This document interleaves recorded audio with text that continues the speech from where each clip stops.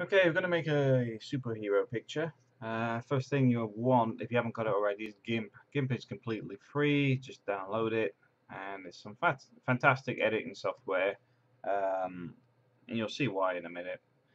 The other thing you'll need is the picture of what we're going to edit. In this case, it's going to be Supergirl. So you just scout the internet. Ideally, you want it with no background. Uh, just makes life so much easier. So I'll be view this image. Uh, save image, Supergirl. Uh, onto my desktop. I've got GIMP installed, so let's just open GIMP up. Uh, that's what I was doing earlier. Hang on. Okay, so we've got got GIMP up and running anyway. So GIMP back on the top. And I want the picture I just placed on my desktop. Where is it? Okay, the other thing is you need to find a picture that you can work with. Um, in this case, this is my daughter. Uh, so I'll just throw this in here. And then you use this lasso tool up on the top here.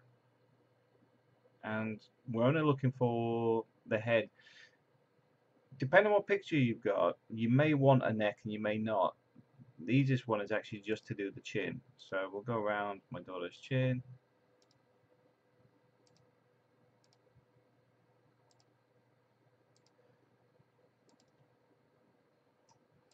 Get my daughter's ear. Slightly working around. Doesn't have to be perfect because obviously this is a Lego one, so it's designed to be a bit blocky. Um, you just want to keep it simple. All the way back round. what we're doing is we're actually working our way back to our starting point. So slowly work up here. Like I says, because it's Lego, doesn't have to be so fussy on the uh, making it, you know, getting all the extra bits in. Because if you wanted, you can edit this, remove the background, but this is the quickest way of doing it. And what we want to do is just cut that. And if we go to the desktop again, get Supergirl, just throw on the top here. Oh, hang on. Open it, sorry. My mistake. Open. Desktop. Somewhere. Did I name it Lego again? No, I can't see pictures. Uh, unit one. Slug. Now, struggling. This is why it's worth renaming your files when you get. Oh, there we go. It's Supergirl. So I wrote Supergirl. Show them. There we go. Um, one of the things I've got is when I paste this, so I just want to paste this on the top, it's huge. But what you need to do is just go to this tool here, which is actually to resize it. As you can see, it's massive. So I'm going to drop that down to 300 by 300 for now. I'm not too fussed on the proportions and if it's distorted slightly because I'll edit that Okay, that didn't look like anything happened. Let's try again. 300 by 300 scale. That's strange.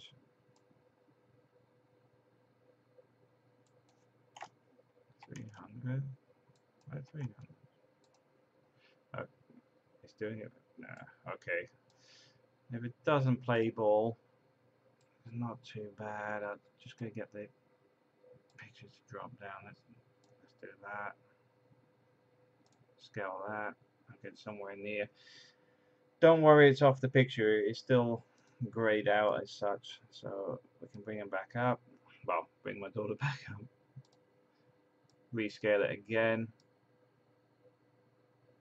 So we get it, get a head the right shape and we're getting close so use this one to move And her head is still a little bit big, so drop it down again. Let's try that. And I just want to move her into position.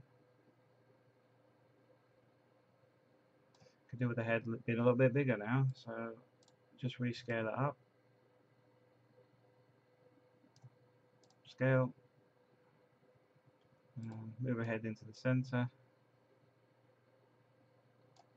Okay, and now uh, zoom in. Um, what I do is I use control and just move the mouse wheel. Uh, the other way of doing that, you, there'll be a view zoom, there you go. You do it up here. But if you just hold the control control button and roll, scroll your mouse, I'll move it in and out anyway. Well, don't want to move the background. Stop moving the background. Okay. So next thing is I want to copy the background color. So we take this tool here, which takes a um, sample and changes your brush to that.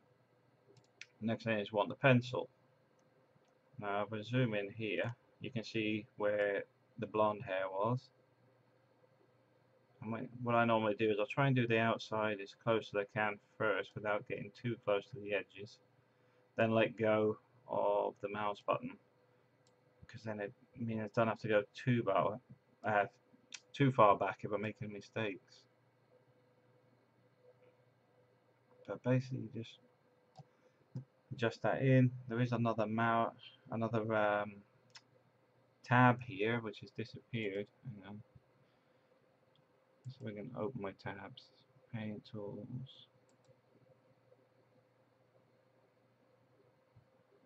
Where's the other tabs? There's a, there's another one of these you see that sits on the right hand side. I'm just trying to find it.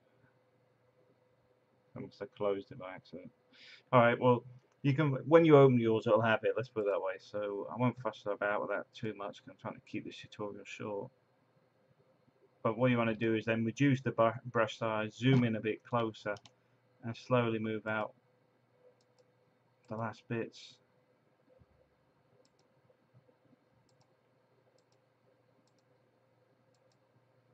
This ain't going to be perfect because I've, I've, left the uh, the brush tool, um, the brush size out. It should be on this side, but got to switch it on. But you get the idea. Then you just save it, and that's it. You've you've made your uh, little superheroes. Alright, thanks for watching.